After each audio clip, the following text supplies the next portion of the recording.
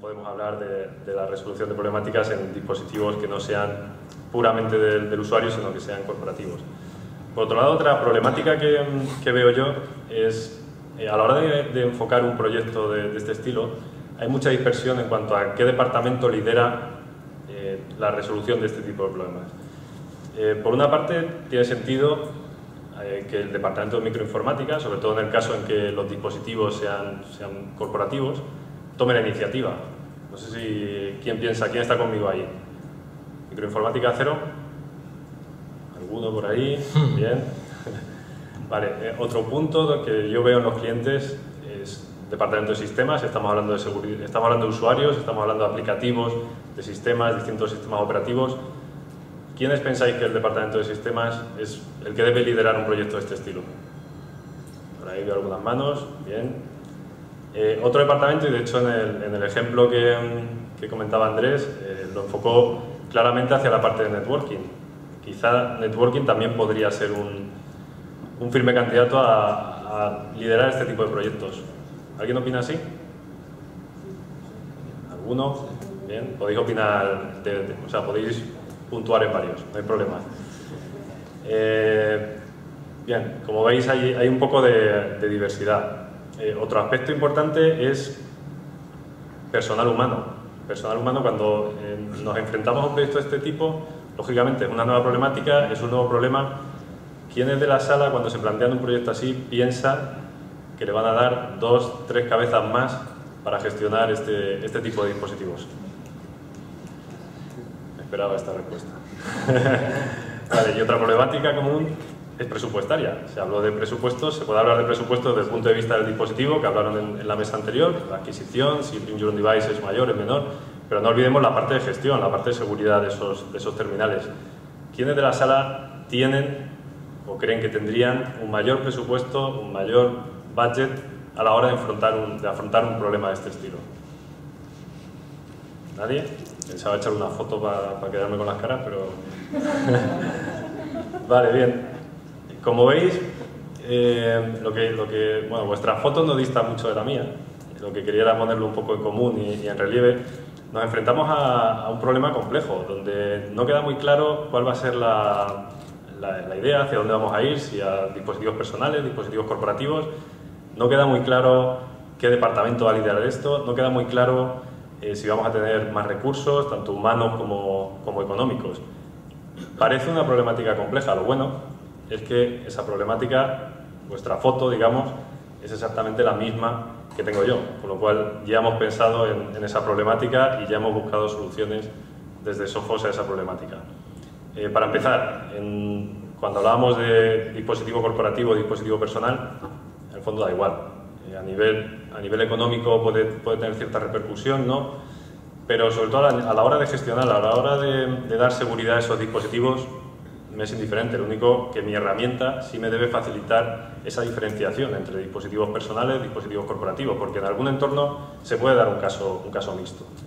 Cuando hablamos de departamento que, que gestionaría, que lideraría eh, esta, este cambio tecnológico, yo os aconsejo a que involucréis a todos los departamentos. Habéis visto que cada uno tenía su criterio. Es muy importante que en la fase de decisión de una, de una tecnología involucréis a todos los departamentos. ¿Por qué? Porque yo me he encontrado con, con casos, de hecho hace unos meses vimos, vimos uno, donde un cliente inició un proyecto en la parte de, de microinformática, tiene sentido, lo que comentábamos, eh, parte de sistemas, la solución que escogieron le servía, pero cuando llegó, llegó a la fase de seguridad, el responsable de seguridad dijo, señores, esta solución no me sirve porque no aporta seguridad a mi entorno. Entonces, importante que desde el inicio unáis todos esos puntos a la hora de tomar una decisión sobre qué solución vais a adquirir o no.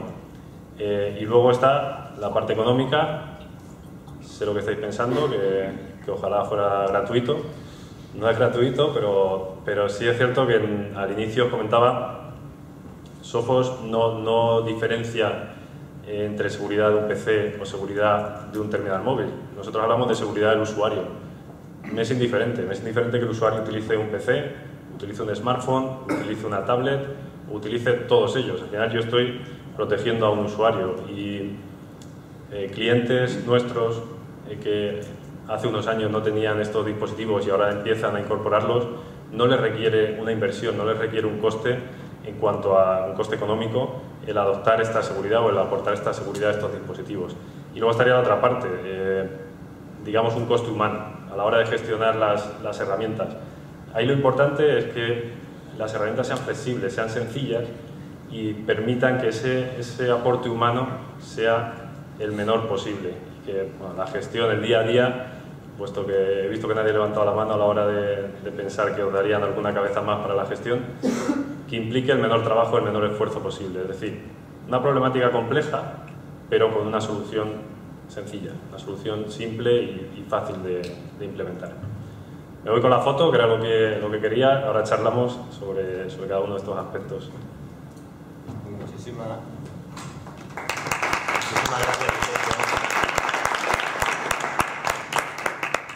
Me gusta, me gusta mucho que hayas hecho la foto para reflejar un poco el sentir de la, de la sala y efectivamente ver que las soluciones que, que propones desde tu empresa eh, tienen en cuenta todo eso. Bueno, eh, el tercer ponente, José Bonet, eh, nos hablará de aspectos yo creo que ya más prácticos de cómo implementar y poner en la práctica todo esto que hemos estado hablando. Muchas gracias. Hola. Um, sí, um, hemos visto que uh, entre uh, los ponentes de antes y, uh, y ahora existen riesgos legales, riesgos en términos de seguridad de datos también. también me gustaría hablar de otro riesgo que tiene un impacto muy importante, que es el tema de los siniestros. Estamos hablando de terminales uh, de movilidad, de terminales que están en la calle. Un usuario hoy día que utiliza estos terminales no se puede quedar uh, 24 horas, dos días uh, sin un dispositivo. existen evidentemente sistemas de, de recambios, de tipo de swap logístico pero yo, mm, a mí me interesaba ah, también plantear ah, algo diferente, que era que, ah, vamos a decir que el, problema que supone el Bring Your Own Device eh, en los términos de, gestión de, siniestros. ¿Qué pasa mañana si dejamos de poder utilizar nuestro terminal y que en nuestro terminal eh, está toda nuestra herramienta de trabajo? uh, qué pasa si se rompe, si tiene una avería. Es un, riesgo, es un riesgo muy importante en términos de productividad uh, y por eso nosotros creemos que um, hoy día la realidad del mercado es un poco diferente. Uh, el Bring Your Own Device es un concepto que es muy americano. en la realidad nosotros somos integradores y lo que vemos más eh, es el choose your own device, que es más apropiado a la, a la realidad uh, de las empresas. En este caso, evidentemente, uh, se tiene en cuenta uh, el hecho de que hoy día los usuarios son muy avanzados. Hace 10, 30, 40 años en las empresas estaban las nuevas tecnologías y el usuario pues tenía que aprender a usar estas tecnologías.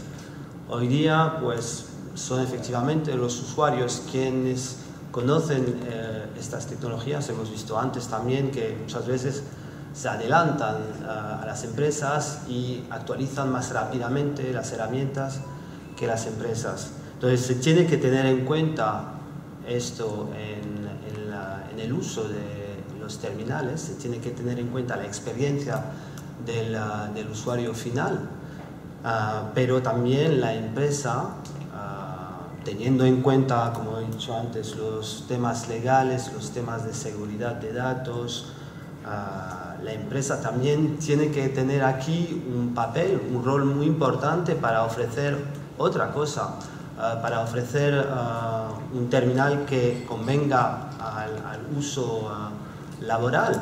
Uh, pero también un terminal uh, con toda su seguridad y no solamente legal o uh, seguridad en, en, términos de datos. Es sobre esto que quería enfocar un poco el debate también, porque yo creo que es muy bonito el término de Bring Your Own Device, es un término marketing que es muy bonito y también es una realidad. Pero al nivel de empresa tenemos que ser también realista. Emilio de Microsoft antes habló del tema de los costes. Uh, por eso nosotros en Econocom intentamos pues, proponer soluciones uh, que vayan a proponer, uh, pues, por ejemplo, un pago por dispositivo. lo mismo que hemos visto el mercado cambiar, por ejemplo, para las soluciones de impresión, que hoy día cada, cada empresa utiliza un pago por, por página o por tinta, pues mañana ya desde hoy y mañana creemos que tenemos que ir hacia este tipo de soluciones ah, de pago por dispositivo, integrando soluciones de seguridad, por ejemplo, ah, que sean MDM, MMM, MAM o, o, las palabras que queramos dar a este tema. Muy bien. Pues muchísimas gracias, José.